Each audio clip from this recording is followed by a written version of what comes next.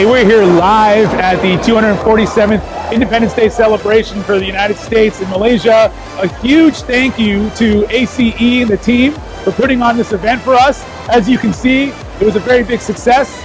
Thank you very much to Nicholas, to Mickey, to Alicia, and the whole team. We really appreciate it here from the U.S. Embassy. Thank you, guys.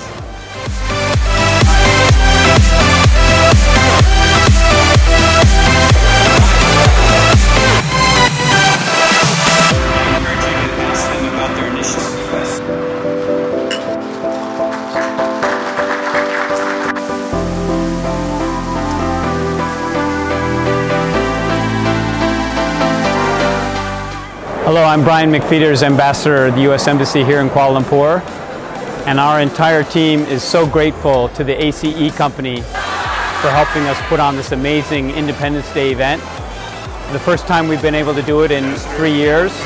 We had a big crowd tonight and everybody was uh, really impressed by the staging, the fireworks, the arrangement, and uh, just can't say enough. Thank you so much to ACE.